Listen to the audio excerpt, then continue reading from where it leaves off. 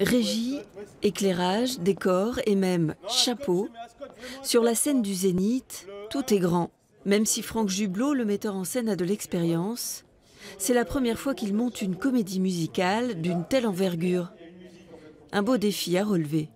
Je vais accentuer beaucoup plus les distances, les rapports, ce qu'on appelle le, l'aura qu'il y a autour du, comédien ou de la comédienne ou de la chanteuse ou du chanteur. Je vais l'agrandir un peu plus, donc les gestes vont être plus amples.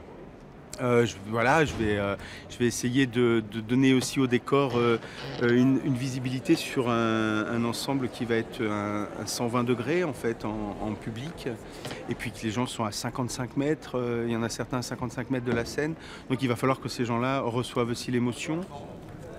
Clément Joubert, le chef d'orchestre qu'on ne présente plus, porte depuis le début la Fabrique Opéra. C'est lui qui a proposé Franck Jublot comme une évidence. On, on les met au niveau, on peut mettre des fly derrière. Une belle complicité. Ouais, moi je vais prendre l'escalier. Le, oui, c'est mieux. regarde, regarde, la jeunesse. Franck Jublot est un metteur en scène de génie. Franck Jublot est un, une personne qui connaît mon travail depuis longtemps, donc je savais qu'on allait pouvoir travailler facilement ensemble.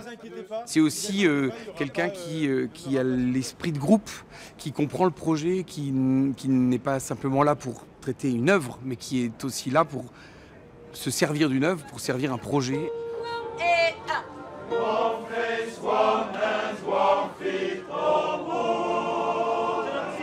Corinne Barrère dirige les chœurs. Elle est aussi présente depuis le début de la Fabrique Opéra. Pour My Fair Lady, il a fallu adapter la façon de chanter des choristes.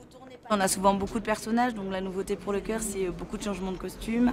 Et puis euh, musicalement, c'est aussi euh, une utilisation, un son en fait du chœur qui est un petit peu différent que celui du chœur euh, euh, lyrique, du chœur classique. Donc ça fait partie des choses au-delà de travailler la partition, euh, sur lesquelles on a, on, on a travaillé aussi. Bonjour Dernier briefing pour le chef d'orchestre avec ses musiciens avant d'entrer en scène.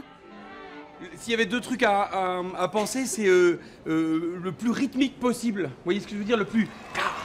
Et le spectacle peut enfin commencer.